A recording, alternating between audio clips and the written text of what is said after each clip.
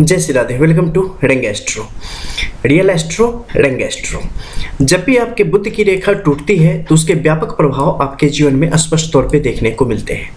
आपकी जीवन रेखा और भाग्य रेखा से गुजरते हुए एक रेखा आपके बुद्ध पर्वत के क्षेत्र की तरफ़ चलती चली जाती है। ये रेखा जब बुद्ध पर्वत के अधूरे से अंदर के क्षेत्र की तरफ़ यानी इस तरफ़ आती है तो ये रेखा बुद्ध के रेखा के रूप में आपके जीवन में इसका प्रभाव दिखता है और वहीं अगर ये बाहरी क्षेत्र में आती है तो स्वास्थ्य के रेखा के रूप में इसका प्रभाव आपके जीवन में दिखता है। जब भी कोई रेखा यहाँ पर सीधी अवस्था में आगे की तरफ़ बढ़ती है, बिना टूटे हुए, बिना किसी प्रकार के खंडन की स्थिति में तो इसके सुप्रभाव आपके जीवन में स्पष्ट तौर पे आते हैं। अगर बाहरी क्षेत्र में है तो किसी भी प्रकार के स्वास्थ्य संबंधी समस्याओं को आपके जीवन में नहीं आने देगा। वहीं अंदर के क्षेत्र में है तो ये आपकी बौद्धिक क्षमता का विकास करेगा। साथ ही आपके कार्य क्षेत्र में लगातार उन्नति देगा। भ्रम की स्थिति आपके जीवन में कभी नहीं रहेगी। जो भी फैसले लेंगे, वो फैसले बेहतर सोच समझ के लेंगे और उसे पूरा करेंगे और वहाँ पर सफलता आपको प्राप्त होगी। आप दूसरों को भी अच्छी सलाह दे पाएँगे, अपने अच्छे आइडियाज़ के साथ अगर आप आगे बढ़ेंगे तो जीवन में आपको काफ़ी तरक्की मिलती हुई चली जाती है।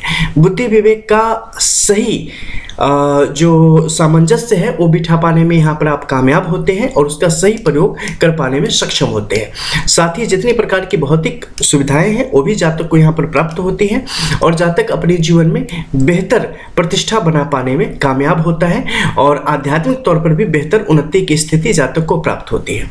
जातक चीज़ों को प्रैक्टिकली लेने में यहाँ पर भरोसा रखता है और तथ्यों पर हमेशा भरोसा करने वाला होता है। जातक चीज़ों के साथ आगे की तरफ़ बढ़ता है और हर एक चीज़ों में अपना संपूर्ण देने की स्थिति इनकी हमेशा बनी रहती है। लेकिन वहीं पर जब यहाँ की रेखाएँ टूटती फूटती आगे की तरफ़ बढ़ती हैं तो इसका क्या प्रभाव होता है? इसके संबंध में आपको जानना चाहिए, क्योंकि ज़्यादातर हथेली में आप ऐसी ही स्थिति देखेंगे कि रेखाएँ काफ़ी टूट फूट के आगे की तरफ़ बढ़ रही है। देखो, यहाँ पर दो रेखाएँ साथ साथ चलती हैं, उन्हें समझना बहुत ही आवश्यक है। एक है स्वास्थ्य की रेखा और एक है बुद्ध की रेखा, यानी कि मरकरी की।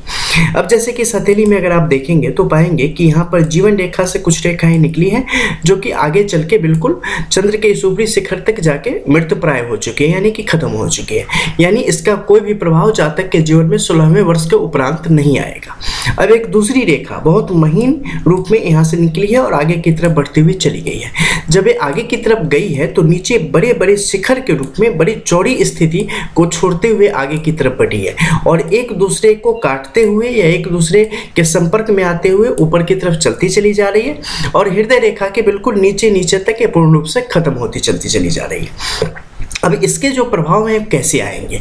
देखो, इसमें स्वास्थ्य की रेखा और बुद्धि की रेखा दोनों एक साथ आगे की तरफ़ बढ़ रही है। बीच में जो महीन रेखा का समावेश है ना, इसे आप जंजीराकार स्थिति मान सकते हैं कि एक रेखा दूसरे रेखा के साथ आगे की तरफ़ बढ़ रही है। यानी कि दोनों का समान भाव से इसका फल जातक के जीवन में देखने को मिलता है।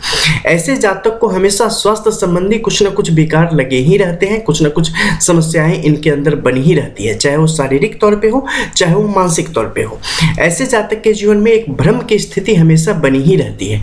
ऐसे जातक बेहतर कार्य करते हुए भी जो प्रशस्ति इन्हें प्राप्त होनी चाहिए, जो प्रशंसा इन्हें प्राप्त होनी चाहिए, उसके लिए हमेशा जूझ रहे होते हैं। इसके अलावा एक जीवन में एक अकारण भय की स्थिति भी हमेशा बनी हुई होती है। आर्थिक तौर पे अपने आप को एक सुदृढ़ स्थिति में या एक सेफ़ स्थिति में कभी भी आप महसूस नहीं कर पाते।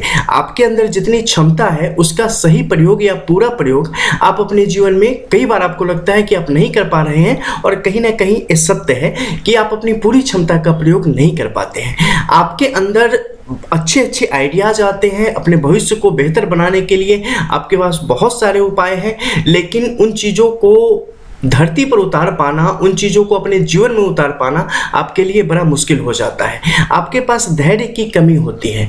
आप लंबे समय का सोच के या लंबा जो गेम होता है खेलना, वे उसमें आप कहीं ना कहीं सफल नहीं हो पाते और बहुत ही जल्द हिम्मत हार जाते हैं अगर किसी भी चीज़ में आगे बढ़ने की कोशिश करते हैं तो।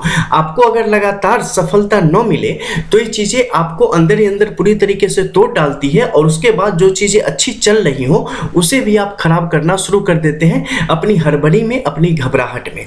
तो जब भी ऐसी स्थिति आए जातक को बहुत ही सावधान हो, हो जाना चाहिए खुद का रिव्यू करना चाहिए और बुद्ध और शनि का निश्चित तौर पे उपाय करना चाहिए क्योंकि ऐसी स्थिति में दो तीन चीज़ें हैं लक्षण जो कि आपको दिखाई देंगे। सबसे पहले आपकी वाणी खराब हो जाएगी।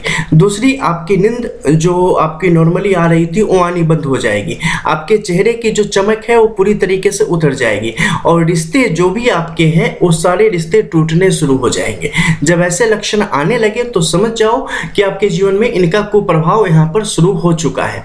इसके अलावा, ये आर्थिक तौर पर भी आपके लिए मुश्किलों को हमेशा बनाए रखने का काम करती है। तो समय रहते अगर इसका उपाय नहीं किया जाता है तो ये चीज़ें आपके जीवन को इस तरीके से मुश्किलों में डालेगी कि फिर ना आप घर के रहेंगे, ना घाट के। तो जब भी ऐसी स्थिति बने, काफ़ी सावधानी के साथ अपनी कुंडली का या हस्तरेखा का पूर्ण रूप से अवलोकन करवा के और इससे संबंधित जो भी उपाय हैं, वो निश्चित तौर पे जातक को कर लेने ही चाहिए। मिलते हैं नई वीडियो में कुछ और नई जानकारी के साथ। तब तक के लिए जय जय श्री राधे।